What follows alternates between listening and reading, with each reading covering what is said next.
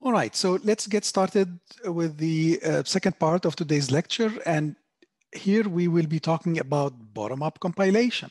If you remember, we're talking about these circuit types and what they allow you to do.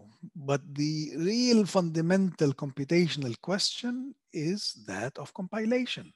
I give you a Boolean formula and I say compile it into a circuit that satisfies decomposability or determinism, or compile it into a DNNF, compile it into an OBDD, compile it into an SDD. And as we mentioned earlier, there are two types of compilers or two type of compilation algorithms, top-down and bottom-up. We went over the top-down, which are based on exhaustive search or exhaustive DPLL while keeping a trace. And now we're gonna talk about the other class of compilers, which are bottom-up compilers. And uh, we, you will see that there is some distinct differences between them. But the basic idea is this in bottom-up compilation. Let's say I want to compile a CNF. Then what you do is something pretty simple. You say, listen, the CNF is what? Is a conjunction of clauses, right? So pick a clause and every literal in the clause is compiled into an SDD. That's a trivial thing. And then to compile the clause into an SDD, I just disjoin the literals, right? I have each one of these as an SDD, I disjoin them. And then now that I have an SDD for every clause, what do I do? I conjoin the SDDs that correspond to these clauses, right? So, but what did that require? That required converting a literal to an SDD, which should be straightforward, and then conjoining and disjoining SDDs. And that's done using the apply.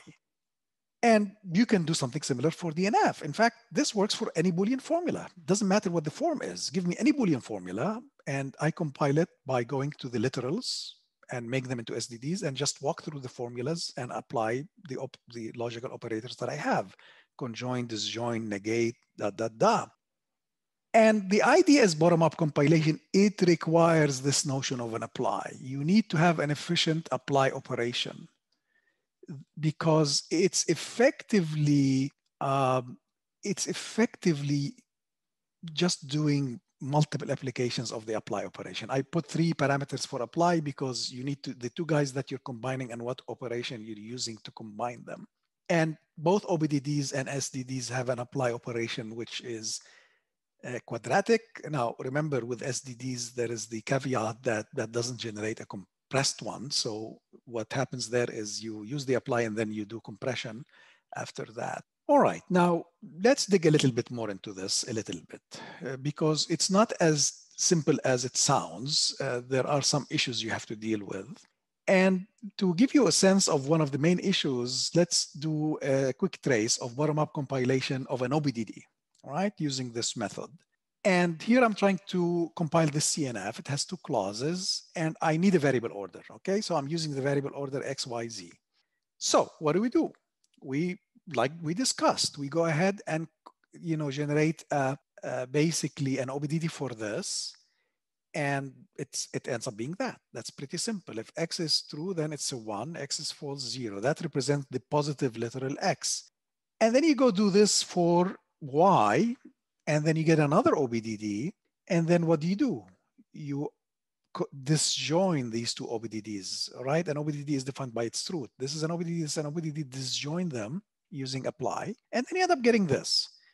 Now, this is the OBDD that represent X or Y, okay? That's what's going on here. Now, you do the same for the other clause. And if I do it for this clause, I end up getting this OBDD, which represent that clause here. And to finish off the compilation, what do I do? I conjoin these two OBDDs. I have this OBDD and that OBDD. I conjoin them again using apply and look what I get. This is the final OBDD that represent this particular CNF. Now, here's what happened here.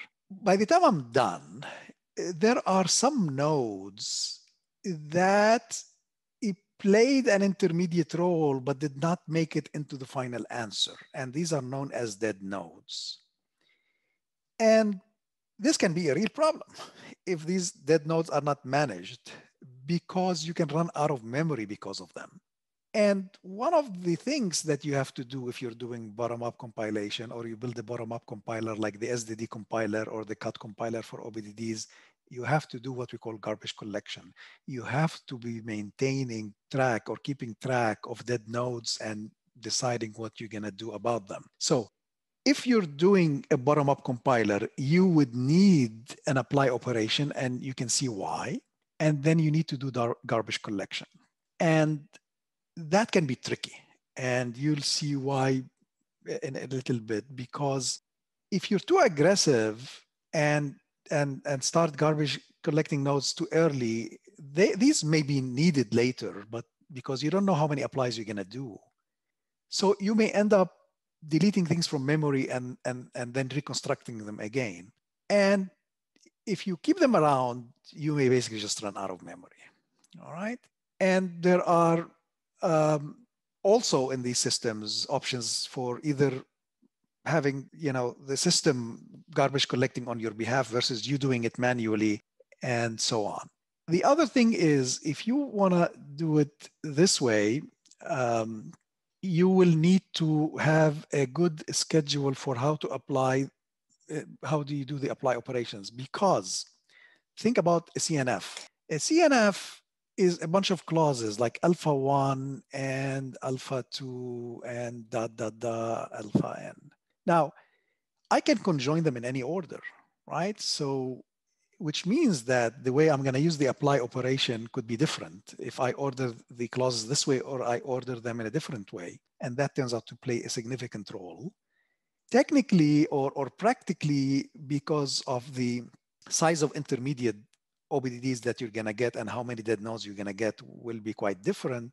And there is a theoretical basis for that. So it's not just about doing garbage collection. A key here is how do you schedule the apply operations, which one are done before the others to minimize the nodes. We're going to talk about variable orders in a little bit. But just to give you an example of how dramatic this can get, this was one of the uh, benchmarks out there. It's a simple CNF. Uh, that CNF has 100 variables it has only 32 models. So actually you can get an OBDD for that, which has only 176 nodes using a particular variable order generated by heuristic known as MINCE. But one particular way of constructing this using CUDD in a certain order of conjoining clauses generated more than 30 million intermediate nodes in the process, even though the very final OBDD had only less than 200 nodes. That gives you a sense of what's going on. And you can think theoretically why that is the case. Why is if I go ahead and start with alpha 1 and conjoin it with alpha 2 and then with alpha 3 versus, let's say, the reverse order, why should that give so much of a potentially a dramatic difference in terms of the size of intermediate OBDDs? Think about it. There is a nice explanation for this. But before I move on, I just want to mention a couple of important things about the difference between top-down and bottom-up compilation, which is this last item. One of them you already got a sense of, which is space. Uh, bottom-up compilation ends up being more demanding in terms of space.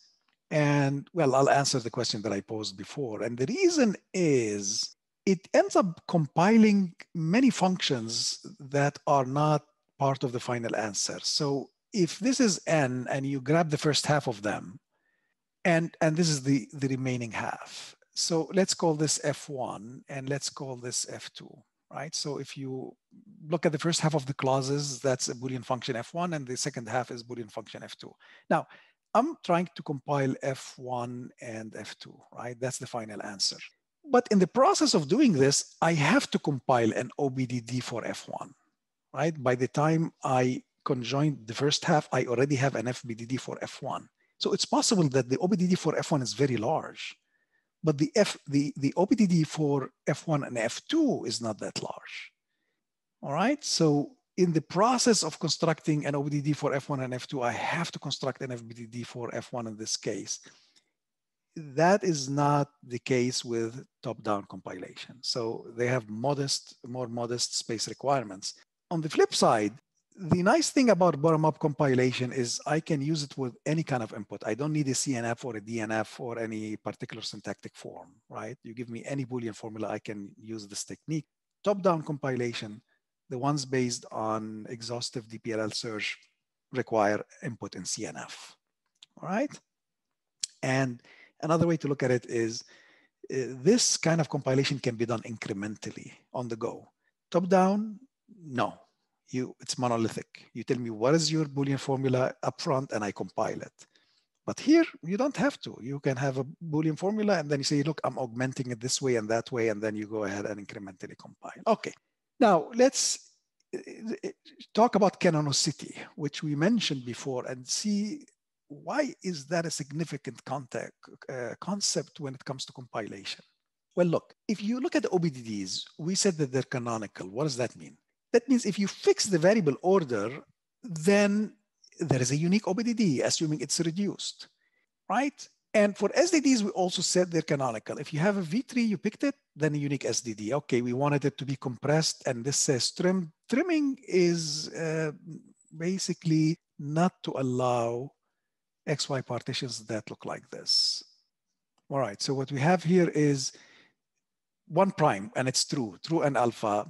And here I have two primes, alpha and not alpha, but the sub here is true and the sub here is false. Both of these are equivalent to alpha. Uh, to really get uh, real canonicity, not only do you need compression, you need to not have these kind of uh, trivial decision nodes. And when we don't have them, we say the SDD is trimmed and compressed. But let's go back to the main point. The main point is if you fix a variable order, you get a unique OBDD. If you fix the vtree, you get a unique OBDD. What does that mean? That means the process of trying to find the smallest possible compilation of a Boolean formula, whether that is an OBDD or an SDD, amounts to a process of finding the right variable order or the right vtree let's, let's say this again. If your goal is to minimize the size of the OBDD, that's the same as trying to find the best variable order. Because once you have the variable order, there is no uncertainty about what the OBDD is. Similarly, if your goal is to find the smallest possible SDD compilation of a Boolean formula, that's the same as trying to find the smallest vtree. And that makes the game really nice, as you will see next. So let's take a, a, a quick look of how people do that there are static methods and dynamic methods. Static method, you say, okay, where's your Boolean formula? Here it is. Okay, let me go think about it a little bit. And okay, here's the variable order, use this. And these methods take the Boolean formula represented usually as a graph and do some analysis on that and come up with a variable order. And you can do something similar for vtrees. You can do quite a bit with that. Actually, one of the static methods for uh, OBDDs is called MINCE. Um, it's based on something we talked about before about this notion of uh, cuts uh, when you have the variable ordering and how the clauses cross and so on. But the state of the art is in what we call dynamic. So the way dynamic works is, uh, let's say you want to compile an OBDD. You start initially by coming up with a good static order and say, I'm going to start with that. And then you start doing apply. And perhaps as you're doing apply, the OBDDs start getting too large. And they say, wait a minute, this doesn't look good. So you stop and go and try to change your variable order to minimize the size of the OBDD that you have, and then keep going. So what happens here is in the process of doing applies, uh, every once in a while you end up stopping and saying, you know, let me go and change my variable order. And the same thing for the vtree. So you're dynamically changing your vtree as you're doing bottom-up compilation. And man, that could be a fun game. So I'll show you how this works in a little bit. And um, let's start with OBDDs. It's a simpler story.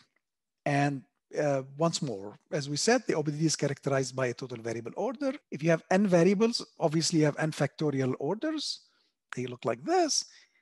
Once more, if you have four variables, that is 24 total variable orderings. What does that mean? There is really 24 distinct OBDDs for a function over four variables reduced.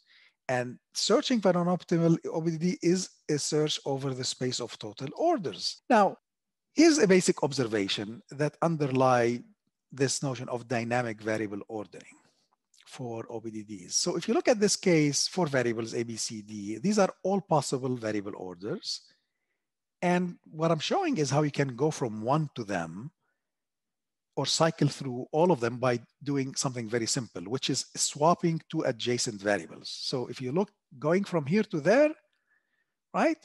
All I did is I swapped C and D adjacent. Going from this to this, what do I what did I do? I just swapped two adjacent variables, B and D. So you can cycle through all possible variable orders using the simple operation of swapping two adjacent variables. And what people realized is if you have an OBDD according to some variable order, and you want to swap two adjacent variable orders, uh, two, two adjacent variables in the order that can be done efficiently. So that end up being the primitive operation when people are doing dynamic variable ordering. So they will go and start swapping adjacent variables and hoping to come up with a better variable order. And, and there are many different techniques for that. Uh, many different uh, search strategies for how to navigate the uh, space of variable orders to try to minimize your OBDDs. But the, the basic idea is swapping two adjacent guys is uh, two adjacent variables can be done efficiently on an OBDD. And the other, uh, the other observation is that's all you need really to explore all of the space of all possible orders, okay? Now, let's look at vtrees. V and, and, this has been going on for decades, and there are actually dozens of heuristics and methods that people propose. This is more recent. And um, even though SDDs were presented, what was like nine years ago, and this is a few years after that. Uh, the story tends to be uh, more interesting and challenging. But the idea is, again, we're going to do a dynamic uh, search for vtrees, okay? But uh, let's make a couple of observations first on this uh, before we move on, which is this notion between a vtree and a variable order. All right, so here's a vtree over four variables, A, B, C, D. And you can think of each vtree as embedding a total variable order. One that is obtained from a left-right traversal of the vtree. What does that mean? That means you start at the top and you say, here's I'm going to get my total variable order. I'm going to put whatever on the left first, and then I'm going to put whatever on the right after that. And you repeat the process. So if you do it this way, you're going to get this variable order, A, B, C, D. Now, different vtrees may embed the same variable order. Like, look at this guy. This guy embeds the same variable order. It's a different vtree, but if you do a left right reversal, that is you say, let me put A first and put all of these after that. And how do I order these? I start by putting these first, and then I put that first, and da da da, you're gonna get the same variable order, okay? Left, right traversal of the vtree gives you the same variable order. And actually all of these different vtrees give you the same variable order. Okay, now I'm gonna make another observation and then you'll see why we're making these observations. So you can think as a vtree as embedding a variable order you can think of it the other way around, that a vtree di dissects a variable order. What does that mean? You give me this variable order and you say dissect it. What does that mean? It means st start chopping it recursively. So in this case, I'm starting by chopping it this way. I'm cutting it that way. And that constructs the first vtree node, the first vtree node, this guy and then I need to dissect this guy. And in this case, I'm going and doing this next, right? I'm, I'm splitting it into B, C, D, and so on. Okay, but here, or, or let's look here. I'm dissecting it differently. The first cut I'm doing is here. So I'm splitting that variable order into the left being AB and the right being CD. That's this node and then I'm dissecting each one of them again. So if you think about it, uh, the variable order as taking it and start dissecting it recursively until you reach components that have a single variable, there's multiple ways of doing this. And in this case, there's actually only five different ways, and these correspond to vtrees. Now, why is that important? Because to see that a vtree is, is can be thought of as two things, a, a total variable order and, either, and, and a dissection of that variable order at the very least, that gives you a, a, way, for example, to count how many distinct vtrees you have. So how many vtrees we have? Well, count how many total variable orders you have. We know that, that's n factorial. And then how many ways can I dissect a total variable order? And it turns out that theory people have done that uh, number of dissections over n variables happens to be this number. Okay, you're not going to remember this, but this happens to be what is known as the Catalan number, which is the number of full binary trees over n leaves, right? And you multiply these together, you get the total number of V trees over um, n variables. And, and the reason you want to think about it that way, or at least we thought about it this way, um, was to try to see how can I navigate the space of all possible vtrees because remember, if you're trying to compile an SDD and you want to minimize the size of that SDD, it boils down to finding the right vtree. If I want to find the right vtree, I need to navigate this space of vtrees. So I have to have a clear idea of how do I navigate this space of vtrees without missing anything, for example. And that gets you into the question of how do I think about vtrees, how many of them, blah, blah, blah. So, well, let's see.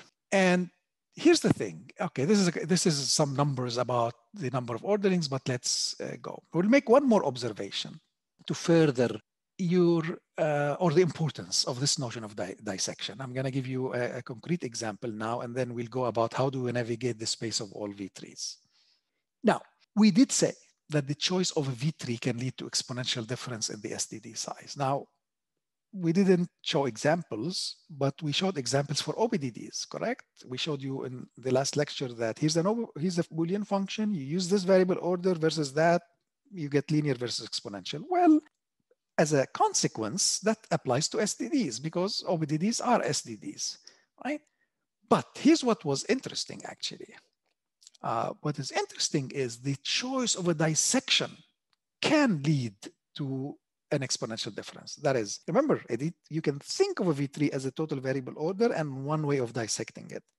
So it's possible that two vtrees will have this, embed the same total variable order, but they dissect it differently, and that could lead to exponential difference. The example I'm going to show you next is actually a fun example, concrete example, uh, which shows a class of Boolean formulas or functions and a particular variable order where the right linear dissection of this will give you an, an, an, SDD, which in this case will be an OBDD of exponential size, but some other dissection of that variable order leads to SDD of linear size. This construction I'm going to show you actually was done by uh, an undergraduate student who was visiting us for an internship a while back, and now he's a professor at Purdue, um, Yexiang Xue what he did is he showed this particular uh, type of Boolean function over two, two variables, two sets of variables, x and y.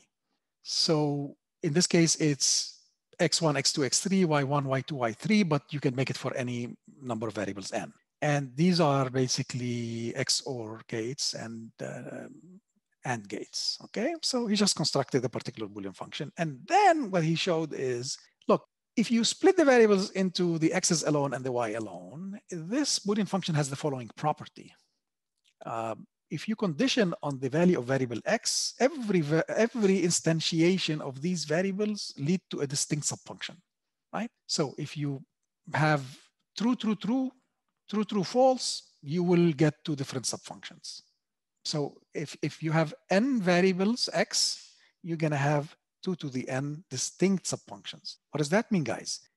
That means according to the Sieling and Wegener bound, that means you're gonna have an exponential OBDD for any ordering that places variables first and then variables y after that.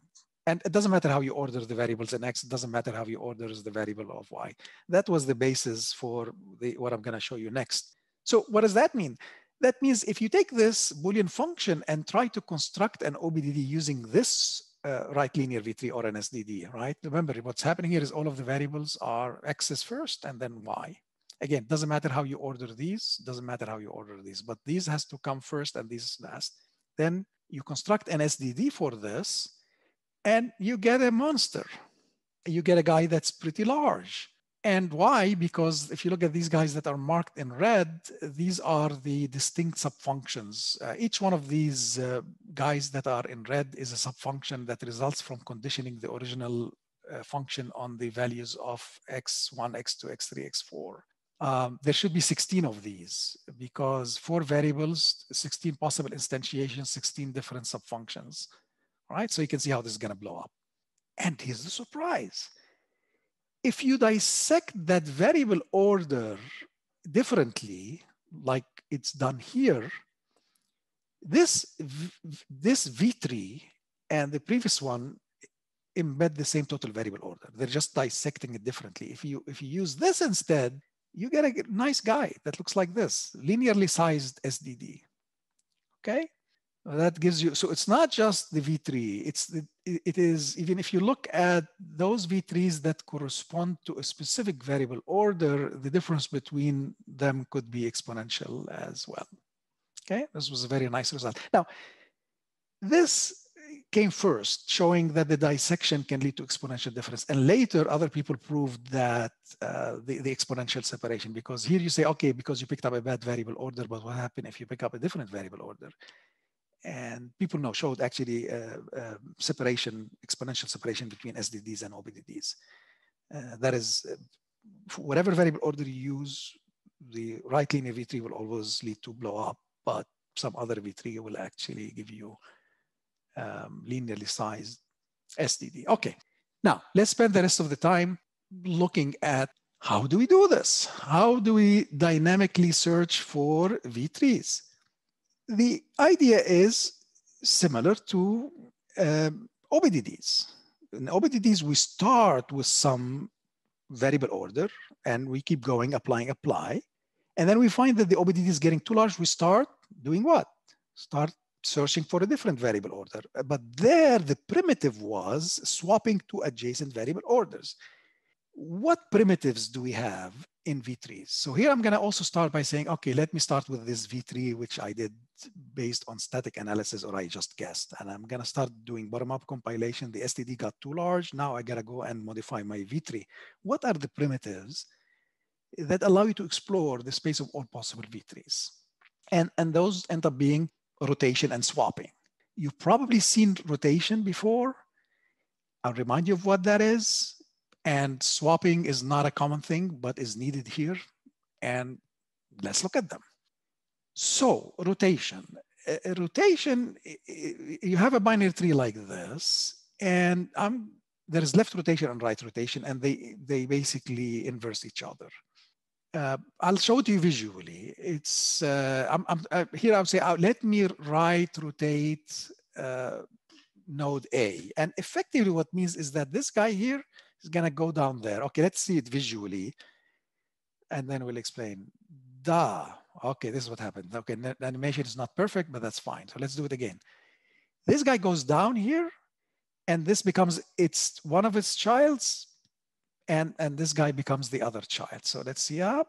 Okay, that is called right rotation. If you left rotate A, you go back. So if I go and, and left rotate it, it goes up, this goes down, and this guy moves here. So let's see that in animation. I'm left rotating and ah, this is what happened, okay?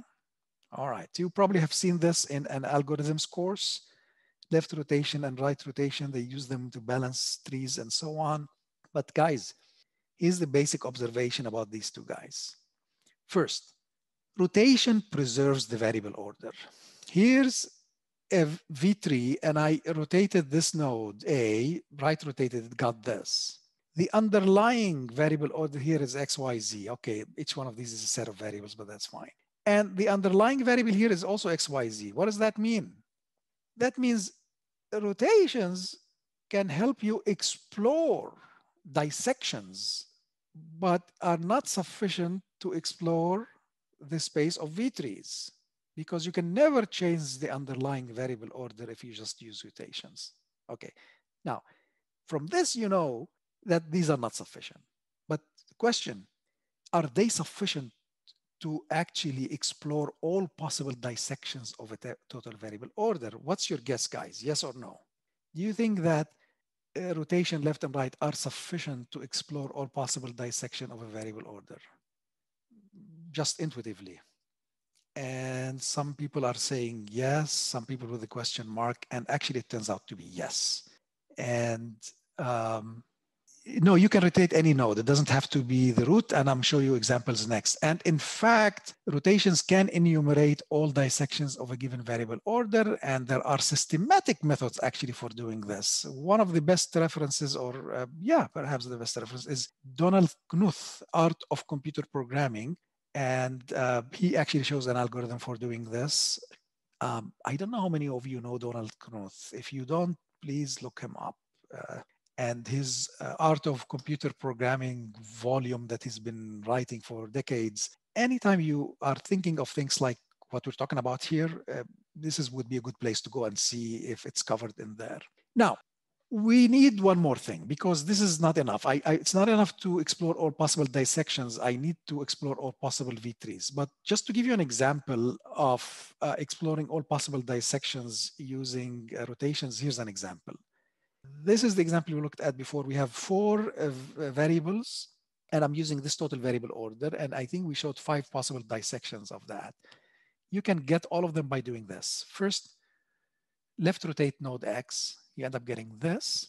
And then left rotate node X again, you're gonna get this. Um, left rotate Y, you're gonna get that. Right rotate X, you get this guy. And in this case, if you uh, right rotate Y again, you get that guy. So we're cycling uh, between all of these guys using only rotations. And these are all possible dissections of this particular variable order. Okay, now what else do I need to explore not just dissections, but all possible V-trees? And um, that is um, swapping.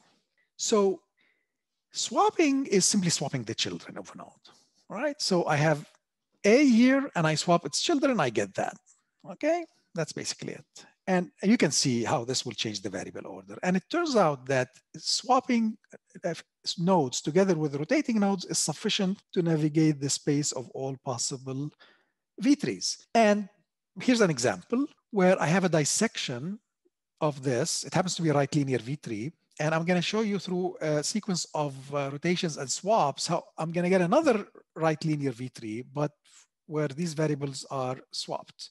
And here's how you do it. You can go ahead. And, I mean, I can't do it here because look, B and C are here. There's no single node that I can swap that will do that. Uh, but if I do first left rotate on X, then I get this guy.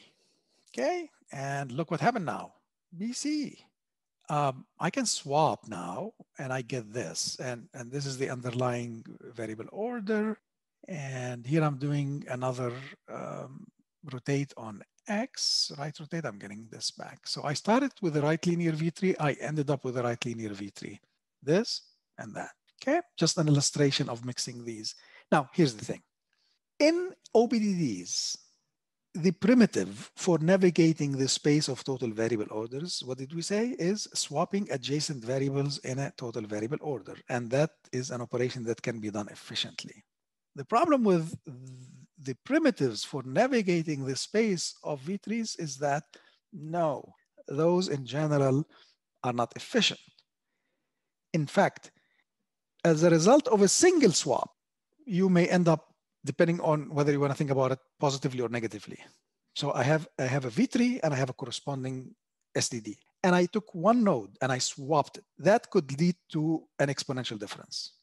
If you're lucky, the exponential difference or the large difference is to your advantage because it was large and because you swapped, it became really small. But it could work the other way around. If you're exploring and you went and tried to swap a node, you may end up blowing up your um, SDD as a result. So to use these primitives of swap, left rotate, right rotate um, in the SDD package, and that took months to do. Um, I had to put um, allow you to time these operations. And uh, so when you call a swap or call a left rotate or a right rotate, you can supply timing limits and space limits. So in the process of doing that, if you exceed those, uh, the operation would fail and everything would roll back. And let me show you here a, a visualization. This is something that um, took forever to do in terms of low level engineering. But the reason I'm stressing it, because if you want to play with these things, you don't have to worry about any of this now. This is a state of, uh, let's say you're, you're doing bottom up compilation. And this is how it looks now. You have this particular V-tree and you have this particular SDD. And let's say for you, this is too large and you want to start exploring, modifying the, the vtree, looking for a better one. And you want to go and do a rotation on three. So what's going to happen? When you rotate on three in this particular case, the SDD has to be changed to match the new vtree. So let's look at the animation. I'm doing a right rotate on three, and that changed the vtree, but then the SDD has to change as well to match it. Okay, let's look again. Uh, we're rotating this guy. Okay, here's the vtree. When I rotate this, the vtree changes, but then the SDD has to change to match it. Here what happens. Okay, this was a good rotation in a sense that it it made it, it gave you a vtree that led to a smaller SDD, but it could have been a bad one and and and it could have uh, basically led to a blow up. And as I said, the primitives implemented in the SDDs uh, package do all of these things on your behalf. You don't have to do any of this low level engineering. You just say rotate left, right, swap, and you give time limits and space limits and uh, they either succeed or fail. And if they fail, they roll back. And that is not easy to do very efficiently. And now I'll, I'll, I'll show you how the algorithm implemented in the SDD package works, right? Which is an, an, an algorithm that uses uh, these primitives uh, to do some kind of a local search in the space of vtrees um, and will basically be almost there uh, to finish. The idea is that if you look at a big vtree, you can find what we call fragments. And uh, there is what we would call a, a, a, left linear fragment, which is pick a node. Okay, you could have other nodes there. You pick a node and you just look at two children and the two children below the left child. We call this a left linear fragment. And you can talk about a right linear fragment. Similarly, okay, again, this could be uh, have parents two children, but now I'm looking at the two children below the right child. Okay, what, what's the uh, relevance of that concept? The relevance of that concept is if you pick one of these, uh, left or right linear, and, and pretend that these guys you know do not exist like this is a leaf you, you can do a local search in the space of possible v trees that only have these as leaves right one two three and here's the interesting thing uh, for any of these fragments, uh, you can cycle through all possible configurations of that fragment, and there would be 12 of them. So here's uh, uh what one of these fragments we looked at, right? And viewing these as leaves, but in reality, you could have, uh, you know, sub vtrees there, but no, let's look at them as leaves. If you explore all possible vtrees that have these three leaves, there's 12 of them. And it happens you can, as we mentioned, you can navigate them through rotates and swaps. So right rotate, swap, left rotate, da, da, da, you can navigate through all of them. So what the SDD package has, it has this notion of uh, what we call a, a, fragment where you can pick a node and say, get me a fragment that corresponds to the left linear fragment or right linear fragment. And then you get this abstract object that allows you to navigate through all of these. It's like a remote control. You say next, previous, go to, very nice. And uh, all of the low level engineering about uh, adjusting the SDDs, rolling back done on your behalf. You get this very high level primitive of navigating through left linear fragment or right linear fragment, but you have to choose which part of the vtree to pick and navigate locally. And the search algorithm is based on that. The search algorithm ends up being simple, which basically start walking through the vtree and pick up nodes like X and say, you know, let me look at X, let me look at uh, this fragment. There are 12 possible ways I can um, configure this. Well, let me look at that too. There is another 12 possible ways I can do that. And let me search in principle all of these 24 and, and greedily pick the best. And then you starting moving that window around the vtree. Okay. Now, in reality, you may not be able to explore the 24 because some of them may be too bad that will blow up and, and you set your time limits and space limits and you may not be able to go to all of these 24, but you explore as many as um, you can. And basically you move the window uh, around uh, the vtree bottom up and that would be this greedy search algorithm that is trying to find a better vtree. Now remember, this is not done once let's look again at the big picture. The big picture is you start by guessing a vtree and you start bottom-up compilation. And as you're doing that, if you find that your SDD got too large, you stop and say dynamic vtree search, kick, kick, kick in, go try to find me a better vtree. And then this algorithm is called. And then you get a smaller SDD.